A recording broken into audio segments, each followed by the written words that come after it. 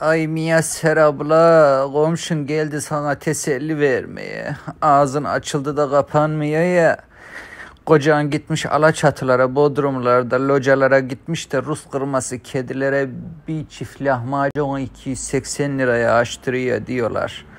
Masalarına yaş mama açtırdı da ondan sonra yanar dönerli mama salatası yolladı diyorlar. Ah Miyaser abla sen de burada bir kilo un helvasına kavur şekerin çıksın böyle yiyip yat uzan.